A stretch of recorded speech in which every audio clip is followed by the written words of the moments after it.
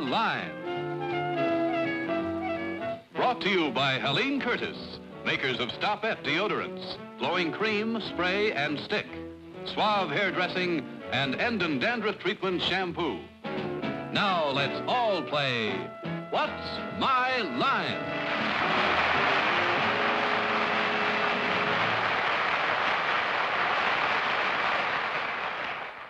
And now let's meet our award-winning What's My Line panel. First, our lovely star of the Broadway play Once More with Feeling, Miss Arlene Francis.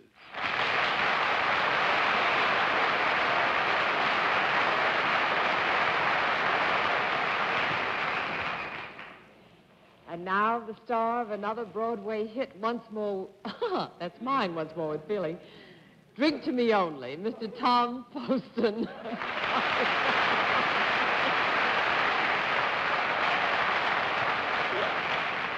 I certainly want to thank you for that, lovely.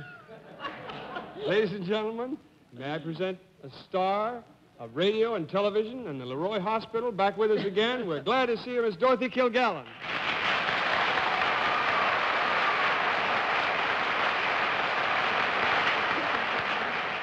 Thank you all out there for your wonderful, warm messages. I'm sure they helped me get well soon. And I missed the whole panel, uh, among them, very especially the one who's going to sit next to me tonight, Mr. Bennett Cerf.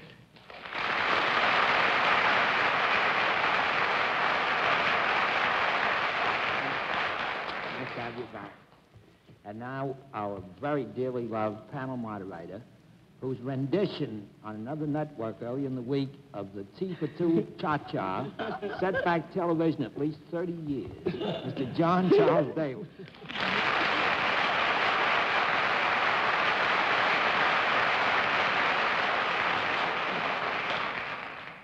Bennett forgets that render means to tear asunder. That's exactly what I did. Good evening, ladies and gentlemen, and welcome to What's My Line.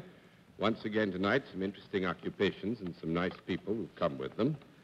And our purpose is, as usual, to give the panel a rough time, except for Dorothy Kilgallen. It's nice to have her back, and uh, so we'll ask her the questions in a gentle voice, anyway. We'll also have a famous mystery guest before the panel a little bit later in the show. And we'll meet our first challenger in just. And now let's meet our first contestant. Will you come out and sign in, please?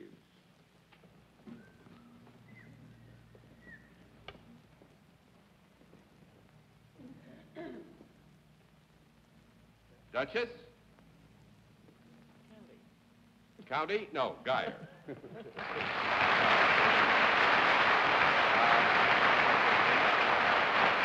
it uh, Miss or Mrs. Geyer? It's Mrs. Mrs. Geyer, where are you from, Mrs. From Ogden, Utah. Ogden, Utah. Well, we haven't had too many people from that part of the country. It's nice to have you with us. Mrs. Geyer, the panel. Panel, Mrs. Geyer. Now, would you join me over here, please?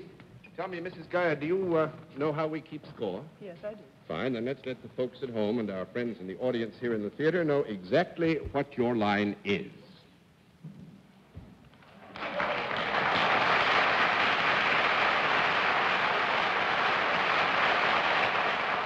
All right, uh, panel, we'll give you the usual bit of help.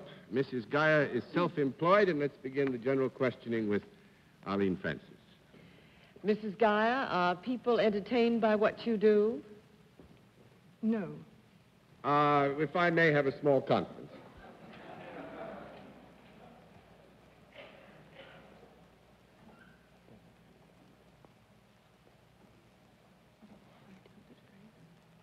Well, let- Yes. Uh, Arlene, this is an area which we don't want to be misleading. At the same time, we don't want to cut off an area of questioning and then have you charge us subsequently with giving a wrong answer, which will at least close the door Shall I for you. rephrase the question? Yes, that'll be fine. That'll get me off the hook, too. Thank you. Do people take pleasure in uh, your services? Yes. you hope so, I'm sure. Do they come to you for your services? Yes, they do. Do both men and women enjoy your services? Yes, they do. Uh, would you say that whatever your service is, it is an adult service rather than a service for children? Yes. Yes. Uh, would I be correct in assuming that there is no product concerned with your service? That's correct. Uh, do you go to homes to give your services? No, I do not. One down and nine to go, Mr. Poston. Uh, w- when you say that you uh, deal in adult services, I take it possibly that there may be children involved. There may be. Uh, do, Uh, uh, well, now, let me say this. Here again, Tom, we can get in trouble. It's not beyond the possibility of doubt that uh, children may be recipients of this kind of service, but uh, considering the normal span of years which we would ascribe to childhood, in this particular case, I would say that they are not identified with the service here. I wonder if I could ask the Duchess to give that kind of a well-delineated answer instead of those yeses. and nos. uh, Mrs. Geyer, do you uh, sometimes perform a service mutually and simultaneously for both men and women? Simultaneously, you mean the service to be applied to both men and women at exactly the same time? I believe that's what that word That means. is a very good question, and that gets you a no. Thank you very much. Two down and eight to go, Miss Kilgallen. Uh, do you do your work indoors, Mrs. Geyer? I do.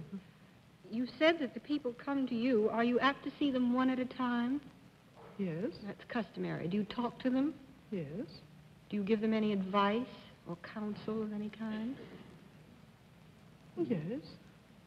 Well, now here again, oh my, why didn't I stay home tonight?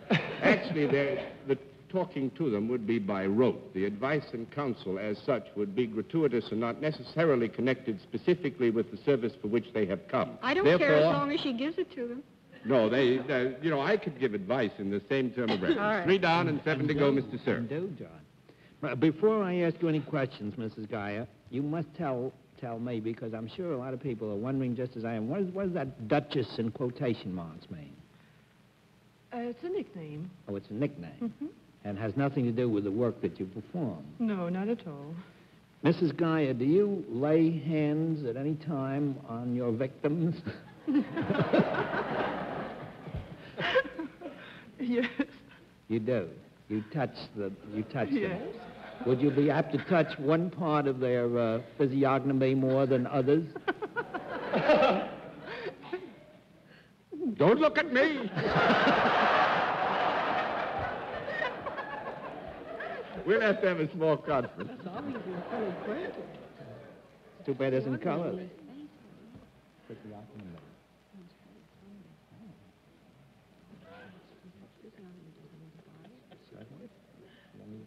Bennett, would you state your question again? I, I will put the question differently, since I do not care to make any contestant on this program blush. And I thought you were blushing a bit. Do you, are you more apt to touch one part of a person's body than the uh, than another? No. No, not in the main. That's four down and six to go, Miss Francis. Nor in Connecticut, for that matter, Miss Francis. It's good all over, Mrs. Geyer. Yes, it is. Uh, is there something therapeutic about what you do?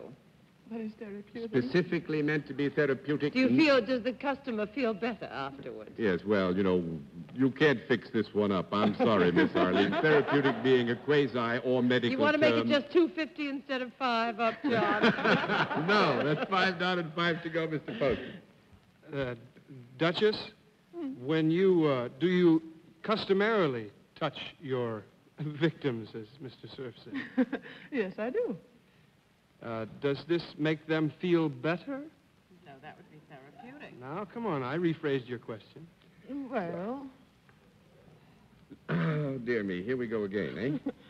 now, since we've gotten into non-medical terms, let us assume that uh, the protagonist has come for the service. Having received same, and having received it uh, at expert hands, we will assume that the protagonist has a sense of well-being as a result of having received the service from expert hands. Yes. Does the thank you? does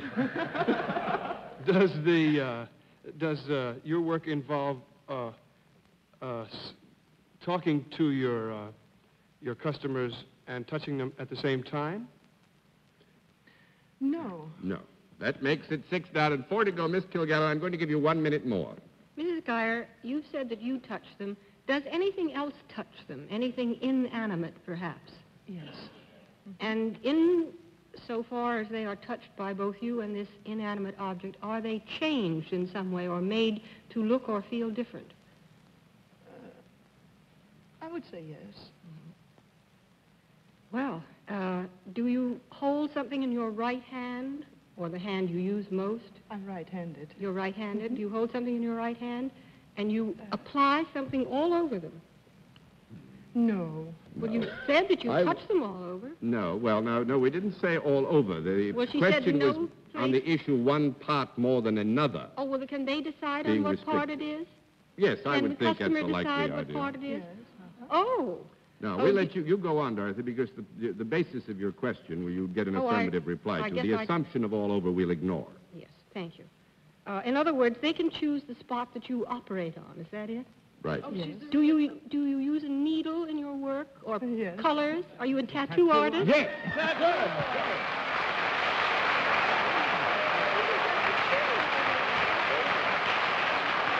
Very good, Dorothy.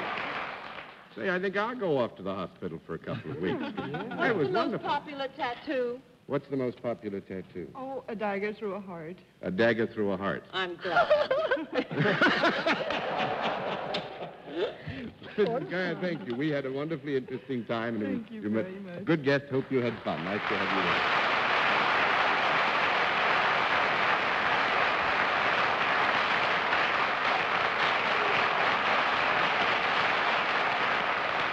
Well, panel, I didn't think you were going to make that one for a while, but let's see what you can do with the second challenger. Will you come in and sign in, please?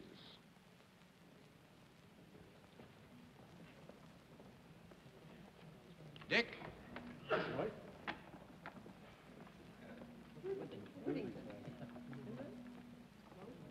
Dick Winslow, right? Where you from?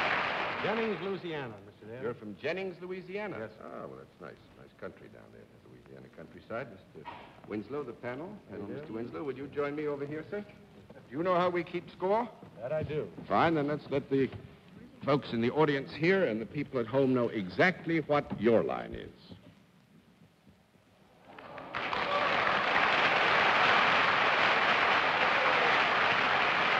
All right, panel. Mr. Winslow is salaried, and we'll begin the general questioning well, where we left off. Mr. Cerf.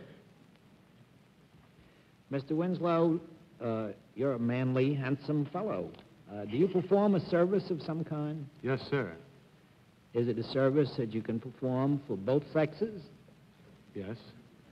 Uh, can you perform this service in Louisiana? No. You can't. Small conference.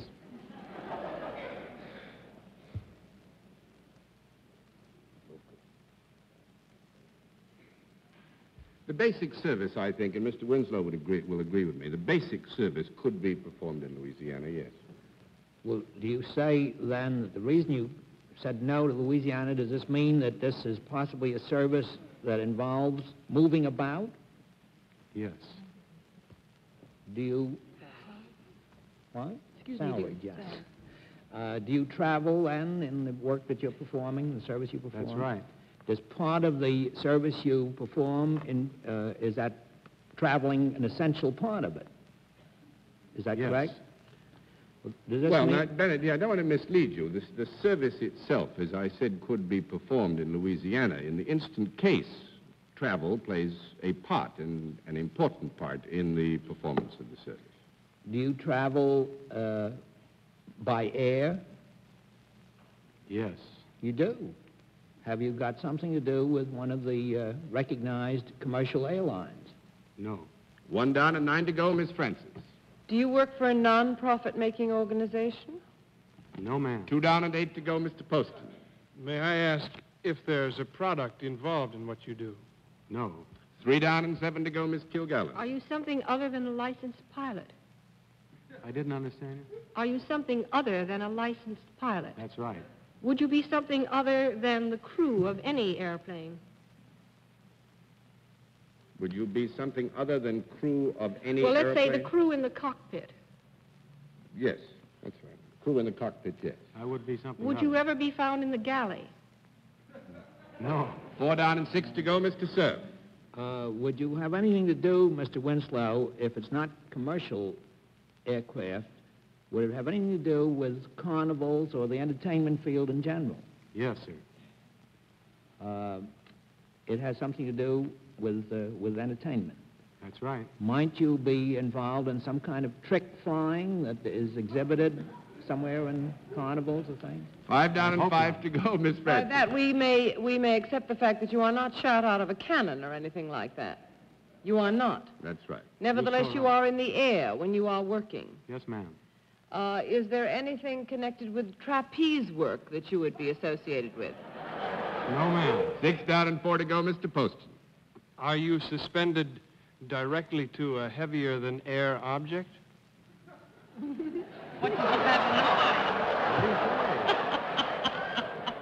Hey? Why? Like a Is it flagpole? heavier than air rather? Something like that. He's a flagpole sitter. No. No, no, no, are Oh, he's no. Well, now we'll have to flip a couple of cards there on that one anyway. Mr. Poston, do you want to continue? Sure. Then I take it that you are involved in uh, uh, rising from the surface of the earth on a lighter than air object. No, sir. Then you. Here we go. No, sir. Eight down and two to go, Miss I haven't Kilgallen. straightened out whether he works with heavier than air or lighter-than-air craft. Has that been established? Oh, oh, you, you Well- said yes. I thought... Oh, thought I see. I thought you said no. I'm sorry. it's no to lighter than air or low, low. It's yes. No to lighter than air. It's, but it was But yes, yes to uh, heavier. heavier than Well, the, the yes to the heavy there was somewhat confused because the question was, was he suspended by something from heavier than air under the glockenspiel? And I said Murgatroyd. I played that in- Mr. Winslow, does the craft that you are in some way connected with uh, or disconnected from, uh, is it heavier than aircraft of Yes, some ma'am. type? And it's non-commercial? Uh, Because if wait a it minute, wait a isn't, you're sitting next to our The leader question- right now. Well, he says it's a non. The question asked was, did he work with a, one of the commercial Recognized airlines? And the answer was no. That was earlier on, yes. yes. Uh, do you at some time leave the ship in your work? Once in a while, he has to get away. Is that? What I meant, John. Oh, you mean it's a part of his work? I mean as part of his act. Oh, that's nine down and one as to a go. paratrooper, you know. Oh, paratroop, yes. Nine down and one to go, Mr. Cerf. We have only thing, one thing left. Uh, do you work possibly with any kind of models? Ten down and no I, more meant, I didn't mean uh, live models. Yes, we, oh, we assume that. Mr. Winslow plays the piano on an airplane, which is owned by a hotel in Las Vegas, the Hacienda, and they fly back and forth between Los Angeles, and Burbank Burbank, and Las Vegas. and Las Vegas, and he entertains for an, an hour and ten minutes in the airplane while the people go to and fro. Thank you very much.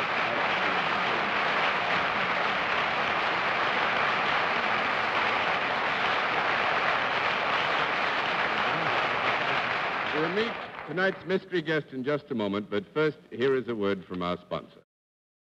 And now we come to the special feature of our program, the appearance of our mystery celebrity, for which my friends on the panel are asked to blindfold themselves. Blindfolds in place, panel? I can't Good. see through this thing. Fine. Come in, mystery challenger, and sign in, please.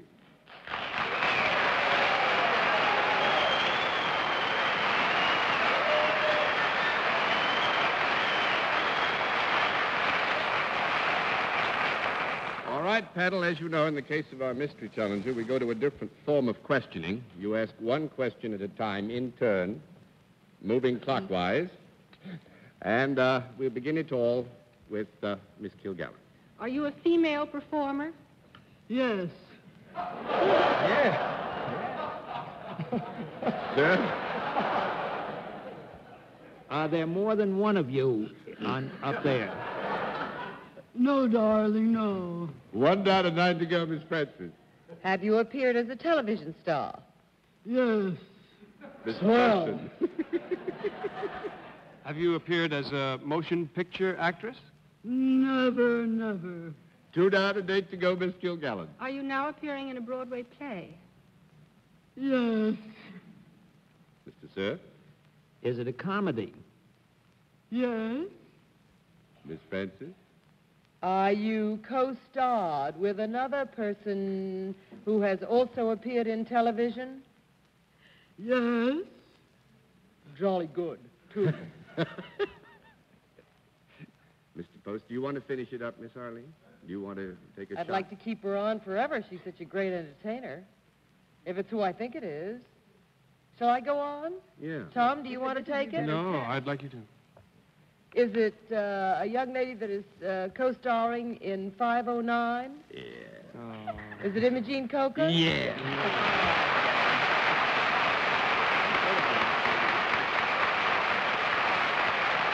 oh, me. Bye. Co-starring with Peggy Wood in The Girls With in Peggy, 509. I tried. You did that, darling. You did beautifully, too. Wonderful to have you with us. Thank you.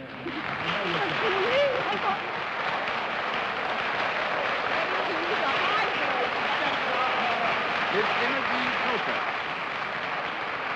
You've done very well, panel, I must say. So we'll have another contestant after this word from our alternate sponsor. Now let's see what we can do with the final challenger. Will you come in and sign in, please? Right there. Tom.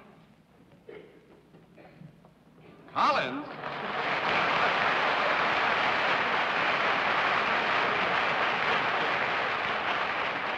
Well, it's nice to meet you. Glad to be here. Where are you from, Mr. Collins? London, England. London, England. Well, it is indeed very nice to have you here. Welcome to America. How long have you been with us? Uh, just a few days. Just a few days. I'm going to Fine. spend five weeks here. Oh, wonderful. Well, Mr. Collins, the panel. Panel, Mr. Collins. You join me over here, please, sir? Mr. Collins, do you know how we keep score coming Yes. all the way from London, England? Fine. Yes, I see this is nothing. Good. Well, let's let the audience in the theater and the people at home know exactly what your line is.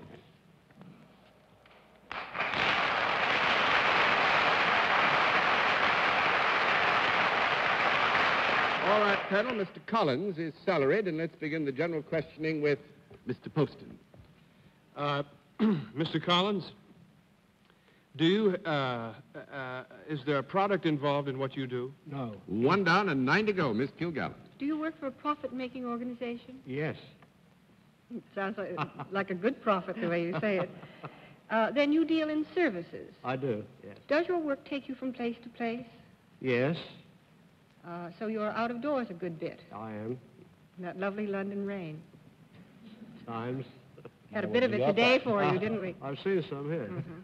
Uh, when you go about, do you visit people? No. Two down and eight to go, Mr. Cerf. Mr. Collins, does the work that you do require you to don some kind of attire different from what you're wearing tonight? No, no. Three down and seven to go, Miss Francis. Mr. Collins, are there people in America that have the kind of job that you hold down in England? Yes, yes. Uh, uh, does it help people, the work that you do? Mm, I, well, I like to think so. I think so. Uh, is your service uh, for men and women For both? men and women both, yes. Do they uh, call upon you for your services? They do. Uh, uh, do you um, consult with them in some way regarding the work that you're going to do for them? No. No, I No, wouldn't say so. no. Four down and six to go, Mr. Poston. Is your, does your work involve uh, inspections in, in any way? No, no. Five down and five to go, Miss Kilgallen. Then you can perform a service for people without their being present. Is that correct? No. No. Six down and four to go, Mr. Cerf. Mr. Collins, do you, uh, do you touch the people that you're performing the service No. for? Seven down and three to go, Miss Francis. Do you teach them anything, Mr. Collins? I think I do. I think I do. Would you would you say then that there is some form of instruction in the work that you do? Yes. It would be a result of the work he does, yes. Uh, are they able, therefore, to do something after they have seen you that they could not do before they had seen you? No, I don't think so. They I'm could do it before, but do it better after. we've run out of time, and it all will come clear when I tell you that Mr. Collins is a sightseeing guide, conducts tours Jolly in. England. Jolly Isn't that something? Fine. And you'll get the full bit because we run out of time. Thank you, Mr. Collins. Nice to have you with us.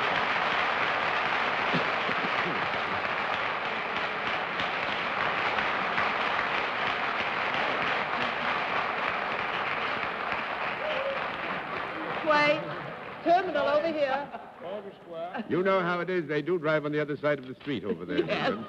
Collins had a bit of trouble. He didn't know which door to go out of, but he found the door, and he's up merrily on his way. And I might say again, Dorothy, it's wonderful to have you back with us. And Indeed. Mr. Poston, it's nice to have you there on the panel, too.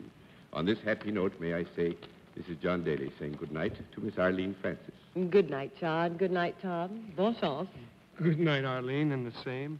Good night, Dorothy. Good night. Happy hits to you both. Thank you stars, you. Good night, Bennett. Good Night, Dorothy. And John, would you sing one bar of Tea for Two for us? No. good night, ladies and gentlemen, and thanks for being with us on What's My Line. If you'd like to attend our broadcast and see the panel and our guests in person, write for tickets to What's My Line, CBS Television, 485 Madison Avenue, New York 22, New York. Transportation for contestants on What's My Line is arranged by United Airlines. This has been a CBS Television Network production in association with Mark Goodson and Bill Todman speaking.